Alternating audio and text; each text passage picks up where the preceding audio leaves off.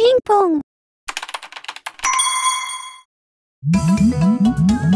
あかりちゃん、飲みたい騒ぎたい。はい。胃腸に関して自信があるある。漢方漢方漢方漢方一気漢方。なんやこいつ。あ、あかりちゃん、私と一緒にコールの練習をしましょう。しませんけど、急にどうしたんや。いやー、あかりちゃんをホスト風におもてなししたくて。じゃあまず帰ってもらえる？いいじゃん、おもてなし、おもてなし、おもてなし。わかったわかった。付き合ったるからやめや。ろくでなし。今ろくでなしって言わんかったか？じゃあ始めます。やろう。こんばんは。どうも、新人のウルトラオニマックスケンチローシグマです。面白すぎんだろふざけんな。ここは冒頭から笑いを取りに行くスタイルなの？え、でも、プチ所属のホストは源氏なこんなもんですよ。そうなんか？あいつは三流亭クラッシュゼコスも。名前に三流ってついてますけど、あっちが黒シャンデリアロゼ将軍。黒なのかロゼなのかはっきりしろ。あそこにいるのがきらめきカルボナーラ重生。うまそうやな。恐れ多いでしょ？どんな自慢の仕方ですか？やっぱり、名前のインパクトって重要じゃないですか。インパクトにして振りすぎてんのが問題なんですが。お飲み物はどうしますか？じゃあ、ウーロン茶で。私は麦茶で。酒を頼めや。え、え、じゃねえよ。ホストって言ったら酒飲んでなんぼみたいな世界やないんか？知らんけど、私も知らない。お前なんでこのシチュエーションに選んだの？あ、あれ入れてください。あれ？なんやねん。ドンベリ。入れてたまるかドアホ。それ包丁持ってる危ないやつやろバカか。ドンペリな。こちらドンペリに見せかけた泡立ち麦茶です。じゃあ麦茶だよ。あと三流亭クラッシュザコスモのステッカーもついてます。間違いなくこの世で一番いらないわこれ。じゃああかりちゃん、クラス持ってください。んあ、なーに持ってんの？は、なーに持ってんの？ゴール飲みたい？ガ